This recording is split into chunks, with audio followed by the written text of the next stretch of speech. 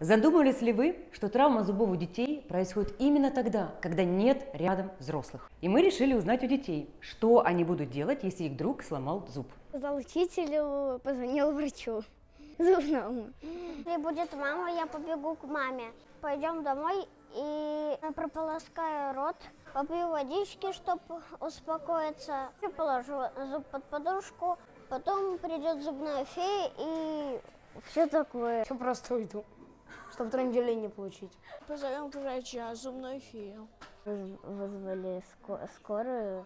Наши дети молодцы, они точно понимают, что это экстренная ситуация. Но в данный момент скорую вызывать бессмысленно. Мы потеряем время и потеряем зуб. Если зуб выбит полностью, у вас есть 5 минут, чтобы вернуть его в лунку. Салфеткой за коронковую часть берем зуб, промываем под проточной прохладной водой и вставляем в лунку. За корень браться нельзя. Там находятся жизненно важные клетки. Они могут погибнуть. Если возможности вернуть зуб в лунку нет, вы кладете этот зуб в воду, в молоко, в физраствор, и у вас есть два часа, чтобы добраться к стоматологу. Ну, а если скололась часть зуба, то вам нужно этот фрагмент найти, положить в воду, в молоко, в физраствор и как можно скорее добраться к стоматологу. Чтобы сохранить зуб в лунке, попросите ребенка накусить салфетку.